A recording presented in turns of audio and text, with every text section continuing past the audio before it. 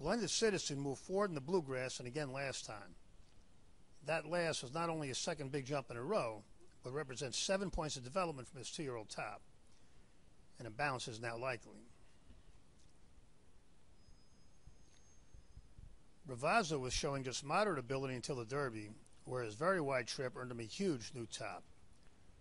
Lukas has been getting a lot of new tops in the last couple of months, but we still expected a bounce on two weeks' rest, and did not get one. Now it's his third try in five weeks He'll have two big ones, a pattern which has resulted in an off race for almost every Belmont runner not trained by Baffert.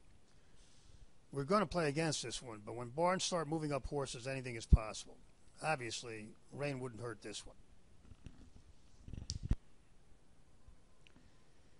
Free Drop Billy had a solid two year old campaign with good figures before catching a dead rail in the Breeders' Cup, then showed gradual development this year. He earned a good figure when wide in the bluegrass and had a good pattern going into the Derby, but threw a stinker in the slot. With five weeks' rest since then, nine since his top, and only four points of development, this is one that definitely could run a new top.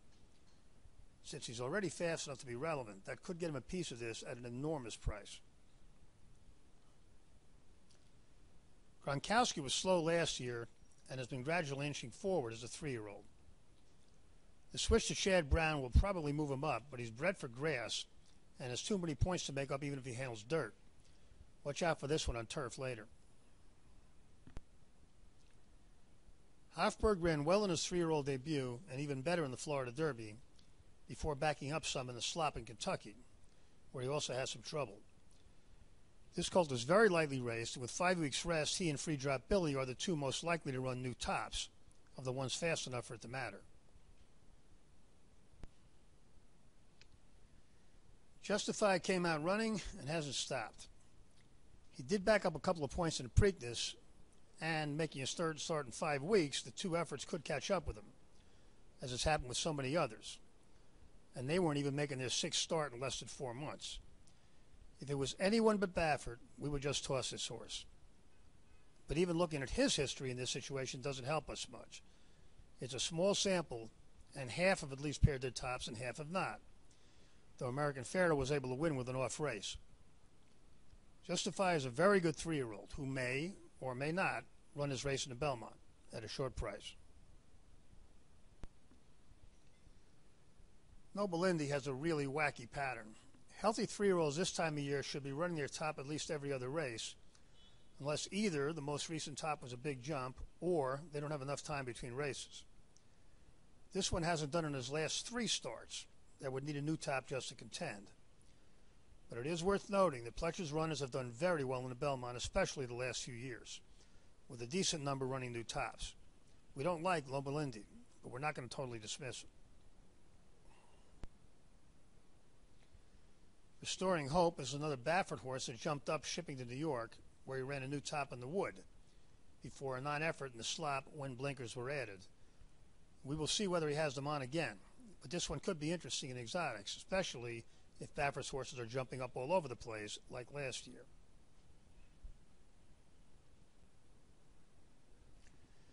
Tenfold is the toughest call in this race for us.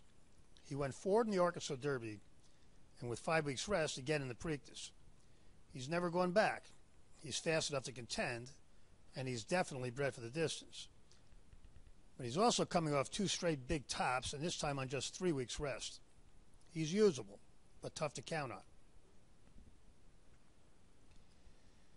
Vino Rosso ran well in his debut, but then not as well the next three times, which may or may not be because they came at Tampa Bay. He exploded when he got back to New York, winning the Wood with a faster figure than anyone here other than Justify has ever run. Not surprisingly, he bounced three points next time out in the Derby, and looked even worse due to a very wide trip. This Colt has just about everything we look for. He's fast enough to win, with a good pattern and good rest. He's trained by someone who does well in this race, and he's bred to go long. The one caveat is that recently Velazquez has been making no effort whatsoever to save ground, not just on this colt, but in other races like the Oaks, where he cost Wonder Gadot the race. Vino Rosso is good enough to win this race if he gets a reasonable trip. The reason we put figures on graphs is that we're not just looking for who has the best figures, but who figures to run well on a given day. Justify is the fastest horse, but he's no sure thing to run his race. And there are others that figure to run their best, and maybe better than they have up to now. And if you bet against the last 13 horses trying to win the Triple Crown, you lost to American Pharoah, but have done pretty well overall. It's always important to watch out for a dead rail, and given how they ran last year, it's worth keeping an eye on how Baffert's other runners are doing. The three we think are going to run well in this year's Belmont are Free Drop Billy, Hofburg, and Vino Rosso. The, the draw probably didn't make much difference, but given the way Velazquez had been riding, we would have preferred an inside draw. Free Drop Billy looks even better with his draw.